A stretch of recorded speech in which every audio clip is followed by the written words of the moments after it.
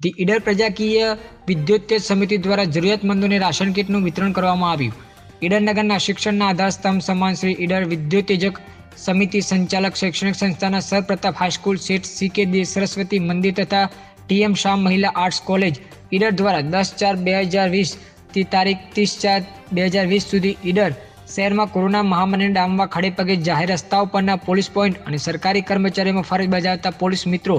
home guard જવાનો, નિવૃત્ત army જવાનો, જીઆરડી, સ્વયંસેવક પોલીસ મિત્ર, મામલતદાર કચેરી, પ્રાંત કચેરી, પોલીસ સ્ટેશન તથા બેંક કર્મચારીને રોજનું રોજનું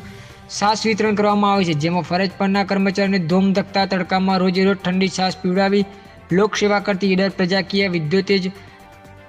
સમિતિ દ્વારા ઈડરનગરના ગરીબ પરિવારોની ચિંતા કરી જરૂરિયાતમંદ ગરીબ પરિવારોને અંદાજે પોસઠ અનાજ કીટોનું વિતરણ કરવામાં આવ્યું હતું, જેમાં સંસ્થાના પ્રમુખ શ્રી જેટી ચૌહાણ મંત્રી શ્રી દુષ્યંતભાઈ પંડ્યા,